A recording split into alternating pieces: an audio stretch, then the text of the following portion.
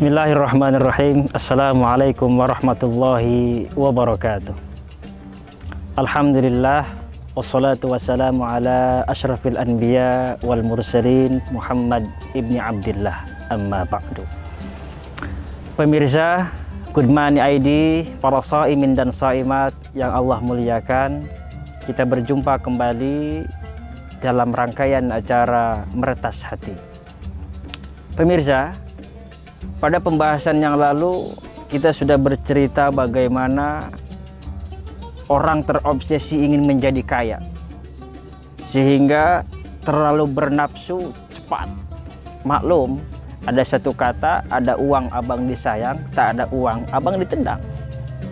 Ini nafsu duniawi yang berlebih sehingga orang ingin cepat mencari kekayaan.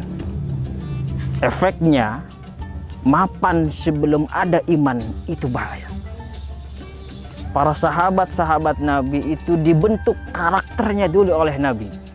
Keimanannya kuat, ketakwaannya ditangguhkan oleh Nabi Muhammad Wasallam. Bayangkan, di Mekah sudah menjadi saudagar kaya, uang berlimpah, harta di mana-mana, jabatan ada, harkat, martabat, wanita, semua ada.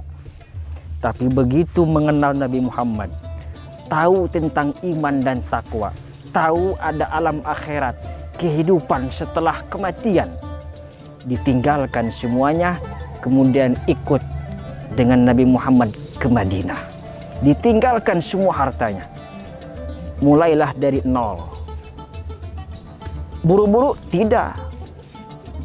Bahkan nanti akan kita bahas bagaimana perjalanan Abdurrahman bin Auf yang kalau mau harta itu ada saat itu pula bisa dia dapatkan tapi dia mau proses itu berjalan. Hidup ini proses.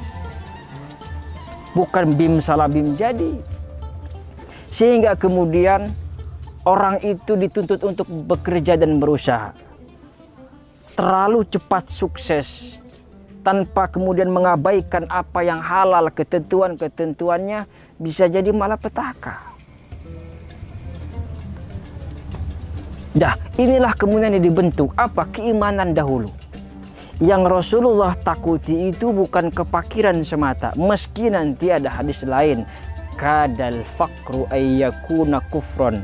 Hampir saja kefakiran itu menjerumuskan seseorang kepada kekufuran. COVID-19 misalnya mengancam banyak PHK massal. Orang-orang menjadi pengangguran. Mata pencaharian semakin sedikit. Yang ditakutkan adalah terjadi kriminalitas kriminalitas ada cerminan daripada kekufuran karena perut lapar. Tapi yang paling ditakutkan oleh Nabi Muhammad SAW bukan kefakiran. Mal fakru akhsha alaikum kata Nabi. Bukanlah kefakiran aku takutkan dari kalian. Walakin akhsha alaikum ayub satu alaikum dunia. Tapi yang aku takutkan adalah dunia ini dibentangkan oleh kamu kalau bisa istilahnya matahari di tangan, bulan di kiri, jabatan semua ada, kenikmatan dunia dapat. Apa yang Rasulullah lakukan? Fatana fasuha. Kalian akan berlomba-lomba mendapatkan itu semua. Ibaratnya ada helikopter menggaurkan atau membuang uang dari langit. Kita saling berebutan, saling sikut menyikut. Tidak mengendahkan persaudaraan kembali. Uang bisa membutakan seseorang kama tanafasa man kana qablakum. Seperti orang-orang terdahulu itu saling berebutan. Fatuhlikakum maka harta dunia itu akan menghancurkan kalian. Kama ahlakatum sebagaimana mereka hancur. Orang-orang terdahulu itu hancur karena uang. Lihat bagaimana korun yang kalau mau diambil nasab silsilahnya masih memang ada garis keturunan dengan Nabi Musa. Bahkan saudara dengan Nabi Musa tapi apa? Diperdaya dengan keuangan dia. Allah berikan semua kenikmatan Allah. Allah bukakan yang tadinya hanya penggembala yang miskin. Bahkan termiskin di kota Arab saat itu. Tapi Allah balikan dunianya menjadi orang yang sangat sukses. Orang yang sangat kaya. Bayangkan, hanya untuk mengangkat kunci hartanya saja butuh sekian orang besar. Harta ada di depan mata. Lalu apa yang kemudian kita harus bekali dalam diri kita? Para pemirsa Budiman, ketika kita melakukan startup, usaha, baik itu apa pun segmennya, baik berdagang di pasar yang kecil maupun apa pun itu industrinya, sabar. Sabar adalah kunci di mana kita berproses. Tidak ada yang instan dalam kehidupan. Anak sultan sekalipun harus berproses. Maka Nabi itu orang yang paling hebat. Kalau Nabi mau mengajarkan orang tuanya, nasab Nabi itu besar. Abdul Muttalib yang cinta kepada Nabi. Tapi Nabi pernah bilang, Laisal fata man yakulu kana abi. Anak muda itu yang inilah saya.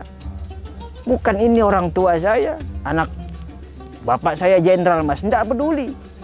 Bapak saya konglomerat, tidak peduli. Inilah anak muda. Walakin al-fata man yakuluha anada. Ini saya untung sedikit milik kita. Mobil sederhana milik kita. Rumah sederhana milik kita. Bukan peninggalan, bukan warisan meski dibolehkan. Tapi kebanggaannya adalah orang jangan cepat mapan kalau keimanan belum ada. Hadirin rahimakumullah. Para pemirsa Good Money teringat firman Allah wa tuhibbunal mala hubban jamma kalian terlalu cinta akan harta, mal. Ingat, di dalam Al-Quran ada 86 kali Allah menyebutkan kata mal. Baik berbentuk jama maupun mufrad. Mal. Mal kalau dalam bahasa Arab berarti mala yamil yang berarti condong kepada sesuatu. Ketika seseorang punya harta banyak atau sedikit maaf, maka dia akan condong sedikit apalagi harta banyak akan lebih condong karena berat. Maka Abdurrahman bin Auf itu menyedekahkan 700 unta yang di dalamnya isi semua emas dalam kabinnya itu. Kenapa? Karena takut. Hadirin rahimakumullah.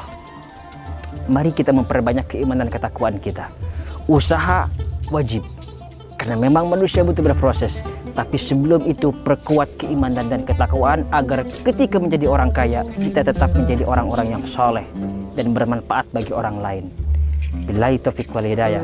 Assalamualaikum warahmatullahi wabarakatuh.